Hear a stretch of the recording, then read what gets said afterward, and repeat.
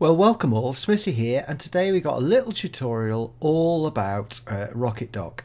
Now, if you haven't got a Mac uh, and you've wanted to have that Mac uh, bar on your computer rather than just the plain Windows one you have, then this is the video to have a look at. It's simple uh, program which allows you to store your icons on a bar, change the size of the bar, put it on the right, left or top, add some themes and all sorts as well. So that's what this video is about. So let's go straight in it and show you the website where you can download this fantastic uh, Rocket Dock. So here we are at rocketdock.com. I put the link in the bottom of this video and this is where you can download uh, Rocket Dock and uh, yeah it's been around for a number of years and I've used it for a number of years and it's ideal to get rid of all those icons onto a lovely bar at the top. You can have a look at the video there and you'll be able to obviously see how it goes. It is very simple to use. It's been around the time of Vista and it, most people use it to sort of impersonate uh, a Mac desktop.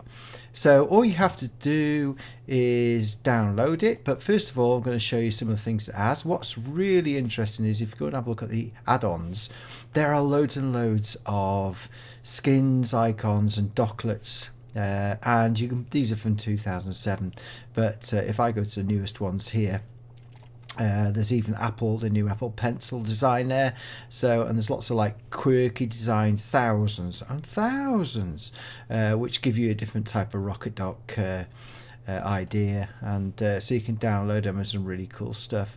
And go and have, head over there and have a look if you're interested. Uh, I can type in so you can use the search facility. Uh, yeah, I've used Apple here. Uh, if I just put Apple in and then you search and you see that basically you can go up to ratings. Uh, the old Mac OS Leopard, you can go to newest, which have got some of the new designs here. We'll click on this one to be example and you can just click on it and have a look.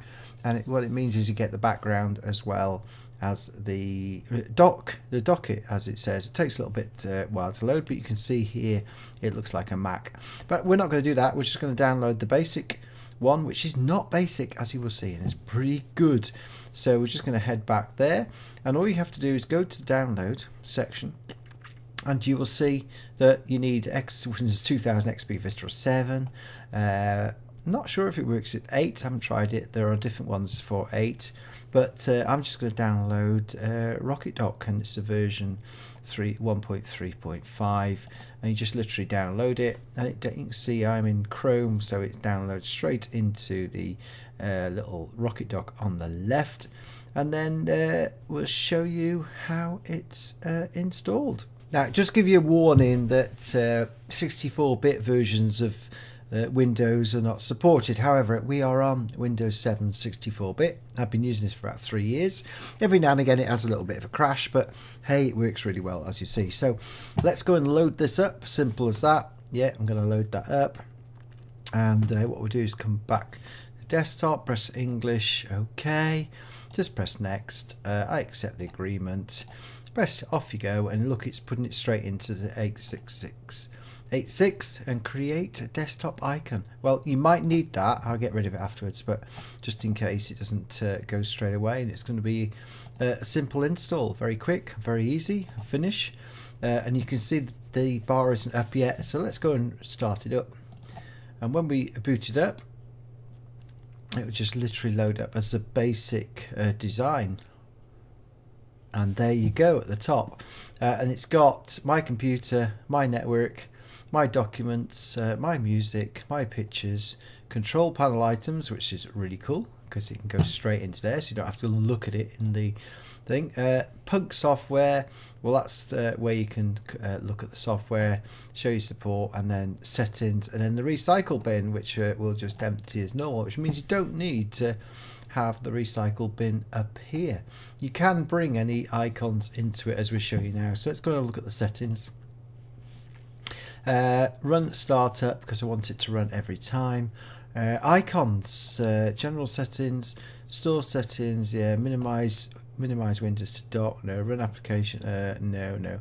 Right, uh, icons, you can play around with the, look at this, you can play around with the opacity, uh, opacity. you can increase the size, which once you get, depends on how many icons you got. so that's pretty cool. Uh, and you can have different style. That's zoom bubble, uh, zoom plateau is sort of different. Uh, zoom flat. Yeah, I don't like that one. so or none. So I'm going to go for the bubble one because that's it. But it has that lovely design. Uh, the zoom, uh, I can make it bigger so I can sort of get bigger icons as I zoom along, which could be quite good when you make it smaller. Uh, and the zoom width and duration of uh, zoom. Uh, position, you can change it, uh, and I can put it on monitor 2. Take it across, gone. Bring it back to monitor 1, so you can have it on different monitors. I can have it on the right. Uh, I can have it on the, the bottom, but then that conflicts look with mine uh, and so I'll put it at the top because I've got my bar down here which works fine so all is good uh, uh, edge offset I can bring it away from the edge which I find really cool to do and I can center it 100% so and the other thing is style. Uh, I can different themes. Oh look at this. There's Astro Glass uh, and I want to go back to that Astro Steel uh, so you can play around that. So you don't need luminous. That's good isn't it? Uh, milk uh, uh what I did is remember what I had? Can't remember what I had now. Oh crystal XP let's come back that. Nice and simple. Uh, but there are yeah there are some fantastic little and you can download new ones as well which uh, look just as cool. Oh that's cool. Yeah I like that. Uh, but I'll go back to being the... Oh, yes, that's a bit bright as well. So let's just go back ooh, to the Crystal XP, which I like, because I'm an XP fan. Uh, and behaviour, uh, you can icon attention. Uh, I can have all sorts of things. Uh, pop up mouse over and just tells you about. So there you go. So uh, we'll have that, and the it's so easy to use. Uh, let me show you. I want, I've got the icons down here which I most use. However, I like here, I put these word icons. Uh, I don't want them uh, all over my desktop. So literally I drag and drop and drop it into there, see? Uh, and I'll put, I'll put uh, Excel next because I tend to use that second most.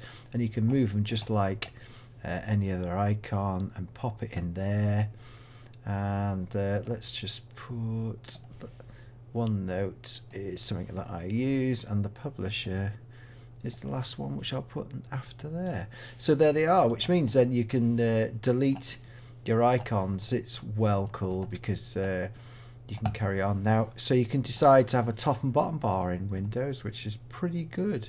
Uh, so I know I use Photoshop as well. So let's just whack that into there. Uh, there we go. And you can move them, you can drop them out and move them around. So there you have it. Uh, and we can make the, I think I'll, at the moment I don't need that. So let's just go back to the Rocket Dock settings, go to icons and let's go just like that. I like a good strong icon, but let's make them a bit bigger. Yeah, and I can change that at any time. So there you have it. Uh, ooh, that didn't save. That's my fault. There we go. Okay, there we go. So once you got it, and again, you can hover over them, so it looks pretty cool.